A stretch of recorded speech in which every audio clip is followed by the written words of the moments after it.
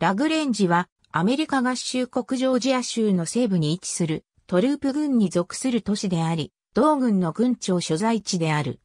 2010年国勢調査での人口は29,588人だった。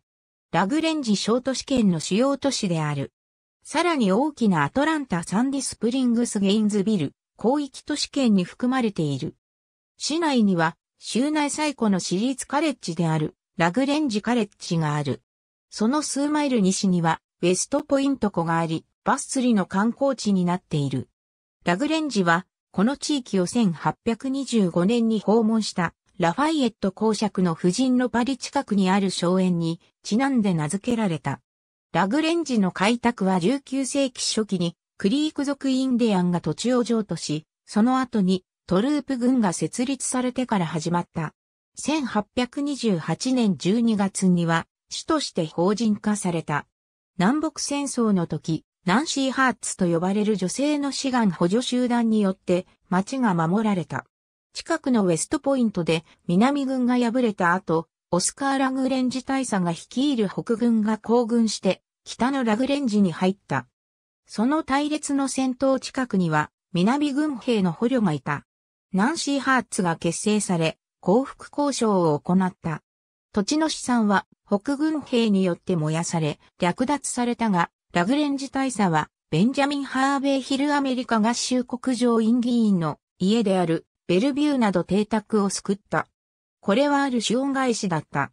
ラグレンジ大佐は以前に南軍から傷の手当を受けたことがあり、その時、ヒル上院議員の命が手当に当たっていた。その治療後にラグレンジは南軍の捕虜と交換になり、任務に戻った。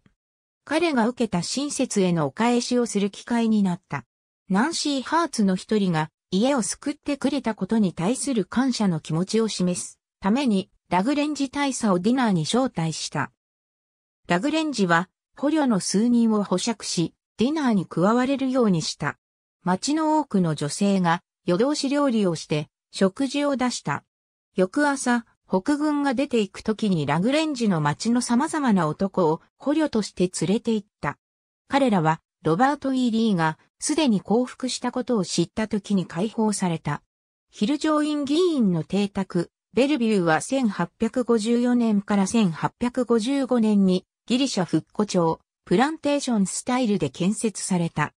1950年代にフラー・イー・キャラウェイ財団が取得し、ラグレンジ婦人クラブに寄付された。1972年11月7日にアメリカ合衆国国家歴史登録財に指定され、1973年11月7日にはアメリカ合衆国国定歴史建造物にも指定された。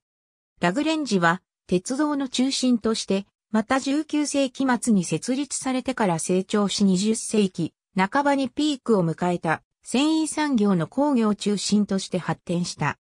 1935年、キャラウェイミルズでの繊維工場ストライキは、市内で戒厳令が敷かれることになり、ジョージア州兵が少なくとも一人のストライキ参加者を工場が所有する家屋から家族を退去させている間に殺した。繊維産業が衰えると、多様な新しい産業の組み合わせがその代わりとなり、長年強い雇用を維持していたが、それも衰退を初めて国内から出ていった。2006年、トループ軍で、キア自動車の組み立て工場が、その関連産業の工場とともに建設され、製造業の下降傾向を止めるものと期待されている。市内を通る週間高速道路85号線と同185号線が完成し、市は交通のハブとしての位置づけを保っている。ウォルマートの物流センターなど、企業に対する工業と商業のアクセスが良く、市の発展に貢献している。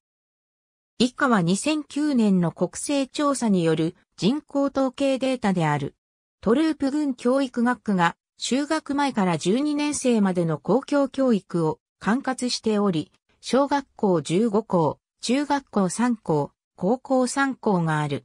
軍は3つの学校地域に分かれている。トループ軍教育学区はホーガンズビル、ラグレンジ、ウェストポイントを担当している。学区内には新しい学校や近年改修された学校が20以上ある。